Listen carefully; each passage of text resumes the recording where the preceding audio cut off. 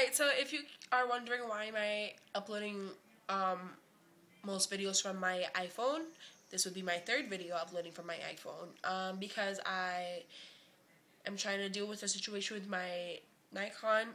Um, I can't seem to upload the videos. I can only upload pictures to my computer.